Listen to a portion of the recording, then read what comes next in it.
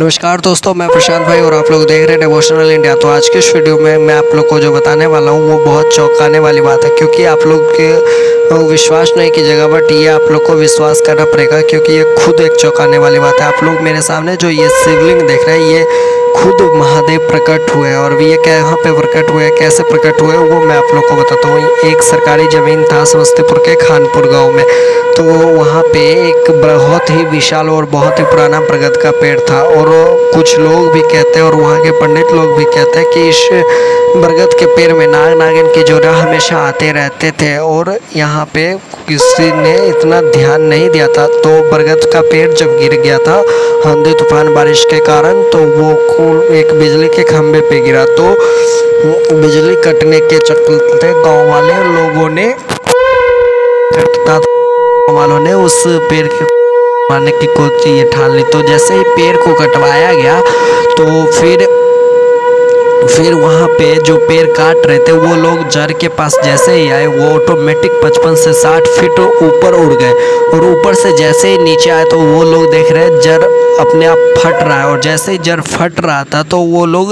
उस पेड़ के पास ही गिरे और महादेव का साक्षात शिवलिंग उनके हाथ से स्पर्श हुआ।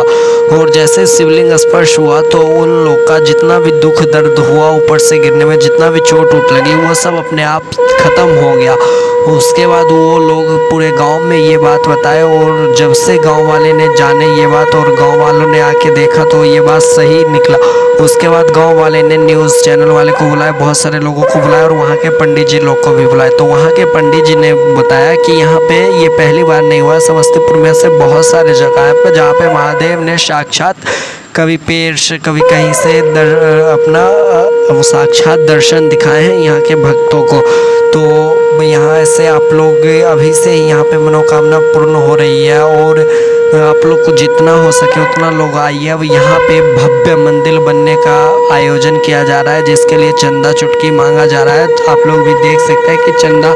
वहाँ पे ये किया जा रहा है जैसे ही गाँव वाले को पता चला तो उसी जगह पे महादेव का पूजा अर्चना करके वहीं पे महादेव को रखने का ठाना है और सरकारी ये ज़मीन है, इसलिए कोई रुकाव टुकाव भी नहीं है। बहुत सारे लोगों ने ईट दिए, सीमेंट दिए और बहुत सारे लोग जिनसे जो बन रहा है वो रुपया दान कर रहे तो अभी मैं आप लोग को ये वीडियो समस्तीपुर के खानपुर का दिखा रहा हूँ, जो कि ये सच्चाई है। और आप लोग को नहीं विश्वास है तो आप लोग भी आके देख सकते हैं और महादेव का साक्षात दर्शन कर सकते हैं।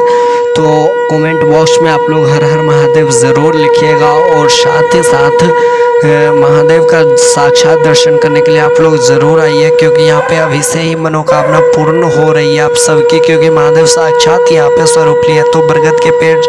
पेड़ में जब नाग नागिन जाते थे तो उस टाइम कोई ध्यान नहीं दिया तो आपको